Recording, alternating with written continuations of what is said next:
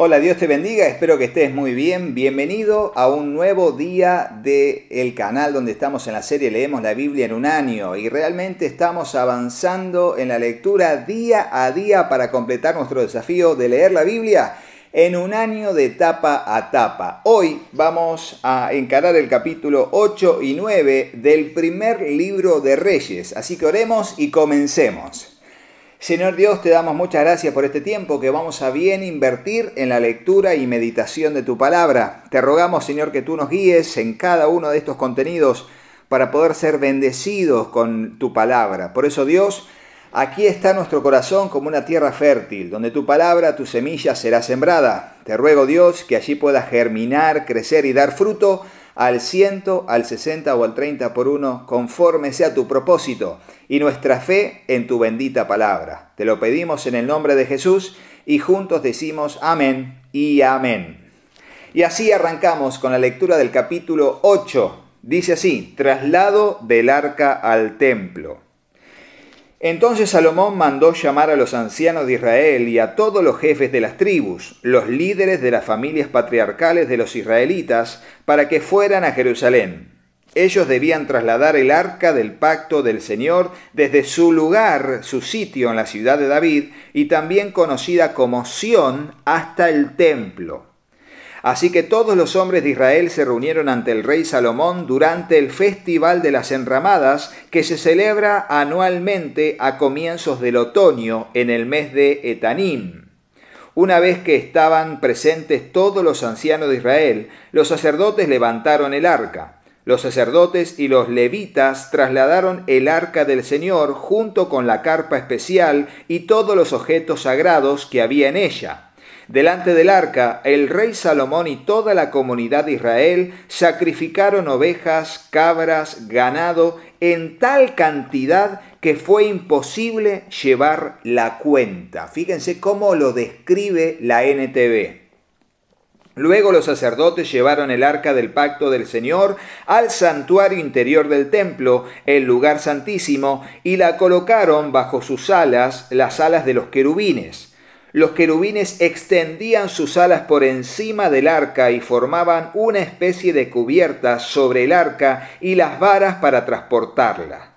Así, estas varas eran tan largas que los extremos podían verse desde el lugar santo que está delante del lugar santísimo, pero no desde afuera, y allí permanecen hasta el día de hoy. Lo único que había dentro del arca eran las dos tablas de piedra que Moisés había colocado en ella en el monte Sinaí, donde el Señor hizo un pacto con los israelitas cuando partieron de la tierra de Egipto. Al salir de los sacerdotes del lugar santo, una densa nube llenó el templo del Señor. Y ustedes dirán, ¿y dónde está la vara de Aarón que reverdeció y la muestra del maná?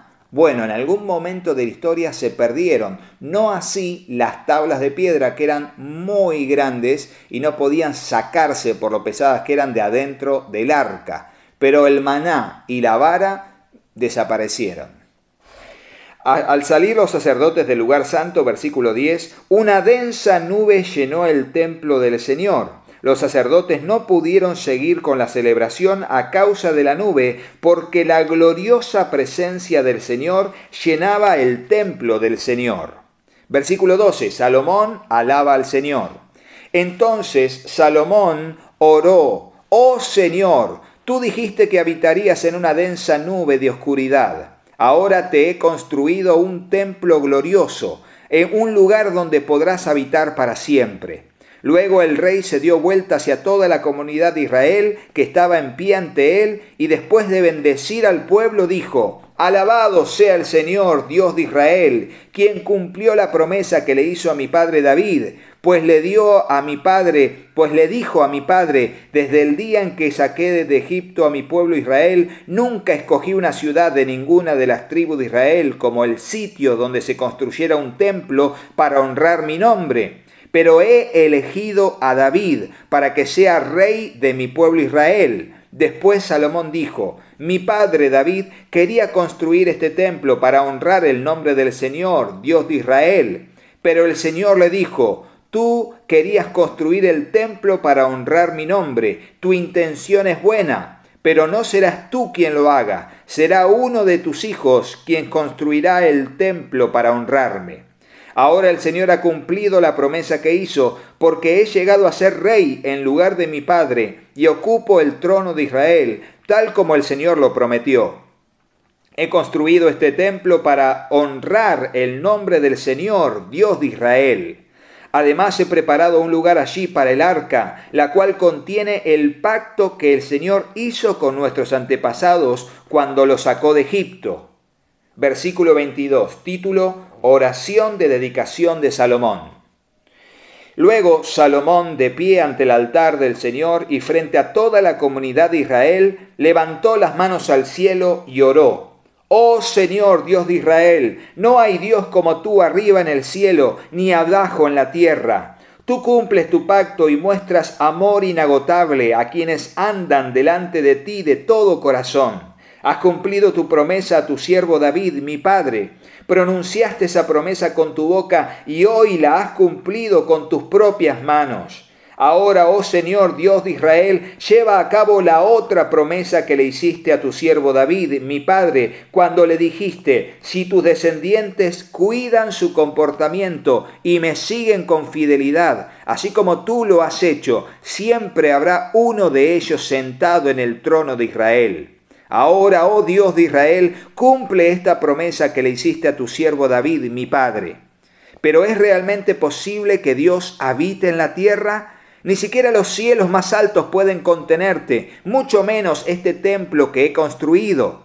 Sin embargo, escucha mi oración y mi súplica, oh Señor mi Dios.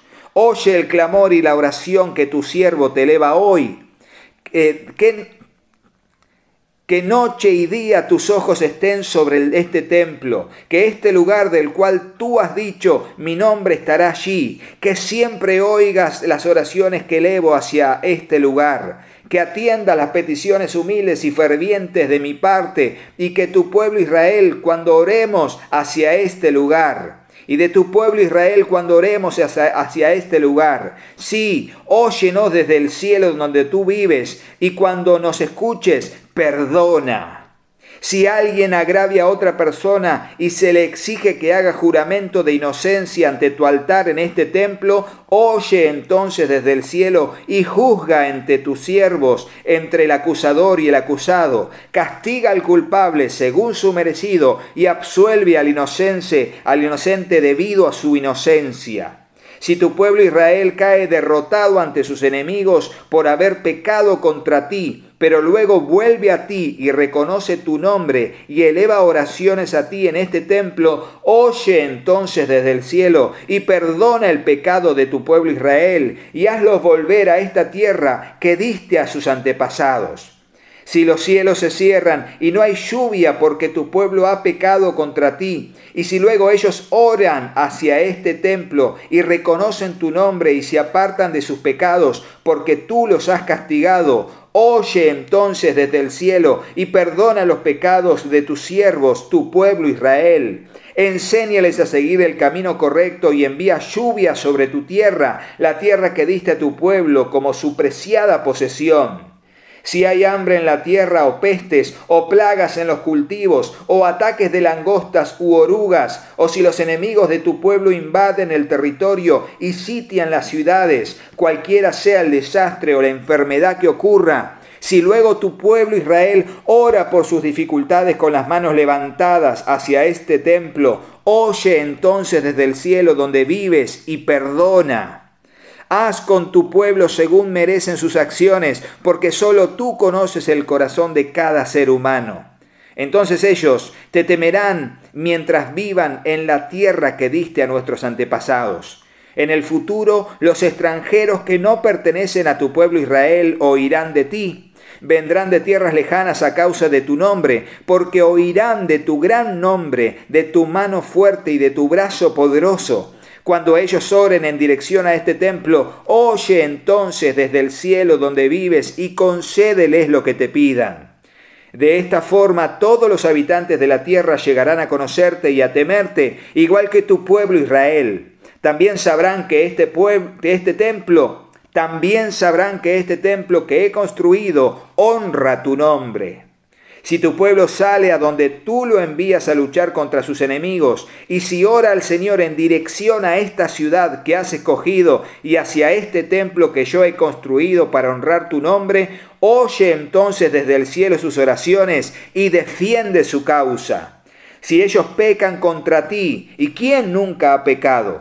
Tal vez te enojes con ellos y permitas que sus enemigos los conquisten y los lleven cautivos a su tierra, ya sea cerca o lejos sin embargo, tal vez en esa tierra donde estén desterrados se vuelven a ti arrepentidos y oren así. Hemos pecado, hemos hecho lo malo y hemos actuado de manera perversa. Si ellos se vuelven a ti con todo el corazón y con toda el alma en la tierra de sus enemigos y oran en dirección a la tierra que le diste a sus antepasados, hacia la ciudad donde escogí, que escogiste y hacia este templo que he construido para honrar tu nombre, oye entonces sus oraciones y su petición desde el cielo donde vives y defiende su causa.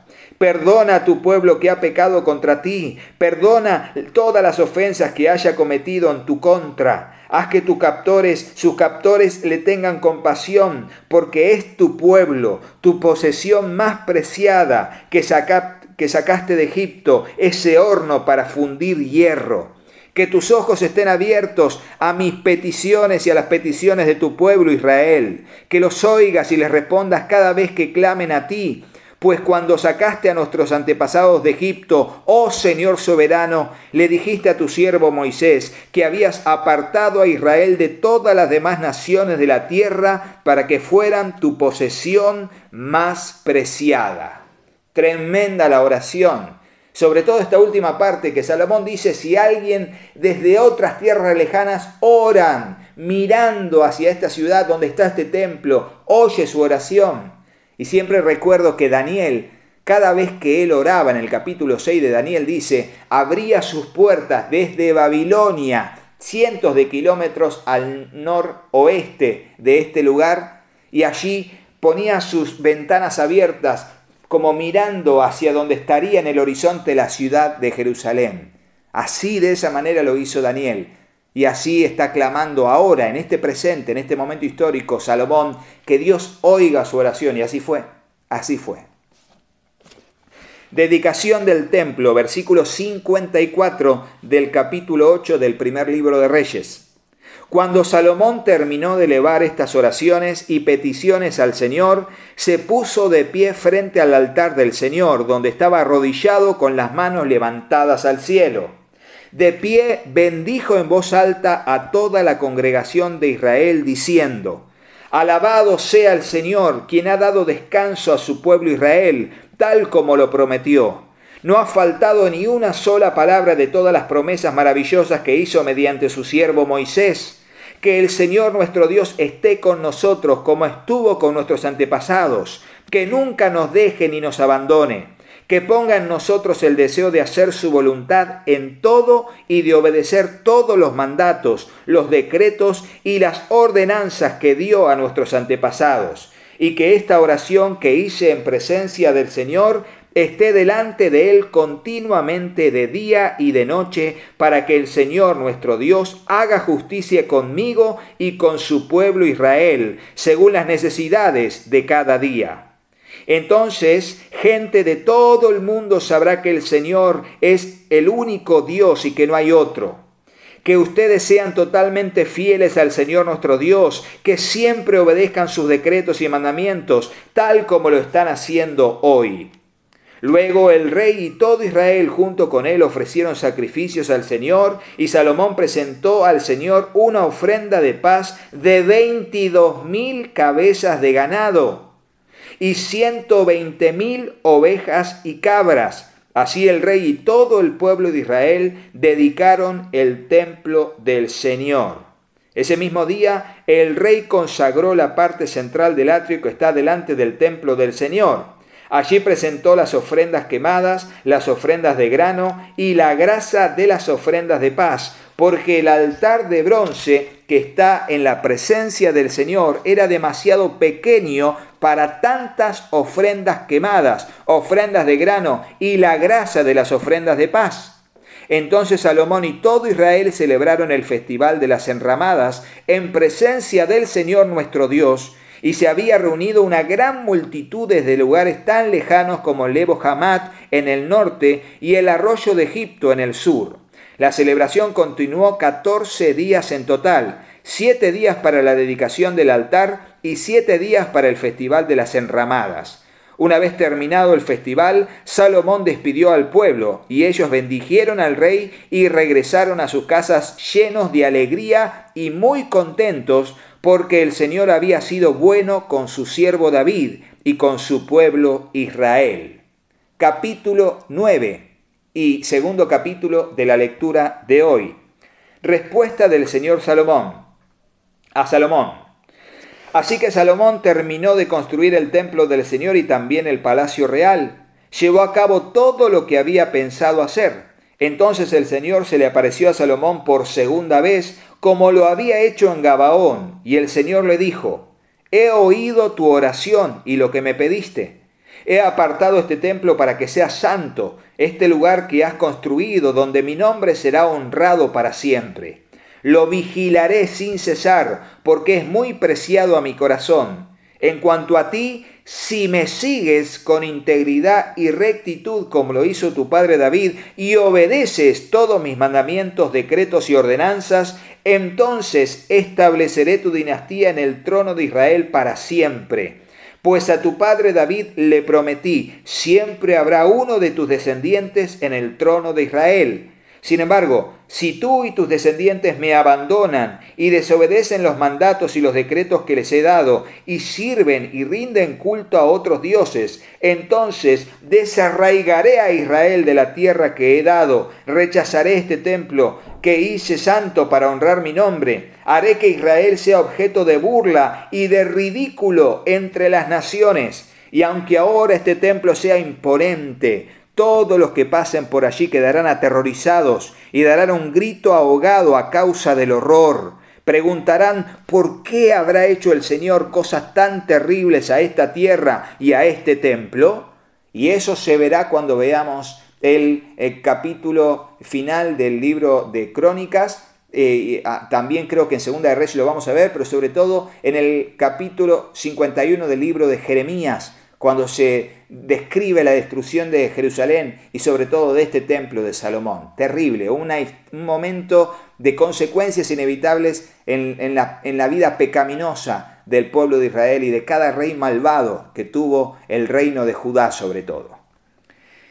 Y la respuesta será, porque los israelitas abandonaron al Señor su Dios, quien sacó a sus antepasados de Egipto, y rindieron culto a otros dioses, y se inclinaron ante ellos. Por esa razón el Señor les envió tantas calamidades. Salomón hace un acuerdo con Irán. Versículo 10. Salomón tardó 20 años en construir el templo del Señor y su propio palacio real. Suma las los dos cantidades de años que hicieron. Primero el templo, luego su palacio. Al cabo de ese tiempo, Salomón le dio a Irán, rey de Tiro, veinte ciudades en la tierra de Galilea. Irán había provisto toda la madera de cedro y de ciprés y todo el oro que Salomón había pedido. Sin embargo, cuando Irán llegó desde Tiro para ver las ciudades que Salomón le había dado, no le gustaron nada. ¿Qué clase de ciudades son estas, hermano? le preguntó. Por eso Irán llamó a esa región Kabul, que significa sin ningún valor. Y así se conoce hasta el día de hoy. Sin embargo, Irán le pagó a Salomón cuatro mil kilos de oro. Numerosos logros de Salomón, versículo 15. Este es el relato del trabajo forzado que el rey Salomón impuso para la construcción del templo del Señor, el palacio real, los terraplenes, la muralla de Jerusalén y las ciudades de Hazor, Megiddo y Geser. El faraón, rey de Egipto, había atacado y conquistado Geser mató a la población cananea e incendió la ciudad. Luego se la dio a su hija como regalo de bodas cuando ella se casó con Salomón. Así que Salomón reconstruyó la ciudad de Geser. También fortificó las ciudades de Bet Orón de abajo, Baalat y Tamar, en el desierto que está dentro de su tierra. Construyó ciudades como centros de almacenamiento, así como ciudades para sus carros de guerra y sus caballos. Construyó todo lo que quiso en Jerusalén, en el Líbano y por todo su reino. En esa tierra todavía había habitantes que no eran israelitas, entre los cuales se encontraban amorreos, hititas, fereceos, heveos y jebuseos. Todos ellos eran descendientes de las naciones que el pueblo de Israel no había destruido por completo. Entonces Salomón los obligó a servir como esclavos y hasta el día de hoy son trabajadores forzados. Pero Salomón no obligó a ningún israelita para el trabajo forzado, sino que los puso a su servicio como soldados, funcionarios de gobierno, oficiales y capitanes en su ejército, y comandantes y conductores de sus carros de guerra. Salomón designó a 550 de ellos para que supervisaran a los trabajadores de sus diversos proyectos. Salomón trasladó a su esposa, la hija de Faraón, de la ciudad de David al palacio nuevo que le había edificado. Luego construyó los terraplenes. Tres veces al año Salomón presentaba ofrendas quemadas y ofrendas de paz sobre el altar que había construido para el Señor. También quemaba incienso al Señor. Finalmente terminó el trabajo de construir el templo. El rey Salomón también construyó una flota de barcos en Esión Geber, un puerto cerca de Elat, en la tierra de Dom, a la orilla del Mar Rojo. Irán envió tripulaciones de marineros expertos para navegar los barcos junto con los hombres de Salomón. Navegaron hasta Ofir y regresaron con unas 14 toneladas de oro que entregaron a Salomón. Tremenda la cantidad de cosas que logró Salomón, el esplendor y la majestuosidad de su reino. Hasta aquí la lectura del día de la fecha. Si te gustó el video, ponele me gusta y déjanos en el comentario si tenés alguna pregunta con respecto a la lectura del día de hoy. Por supuesto, si ya sos habitué de nuestros videos, suscríbete al canal y activa la campanita para que te lleguen las notificaciones de los videos que a diario vamos subiendo de esta serie y de todas las demás series que tenemos en el canal para bendecir tu vida. Hasta mañana, Dios mediante. Chao, chao.